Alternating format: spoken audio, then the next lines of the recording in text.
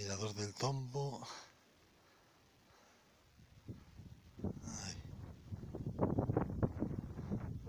Y el refugio y el macizo occidental.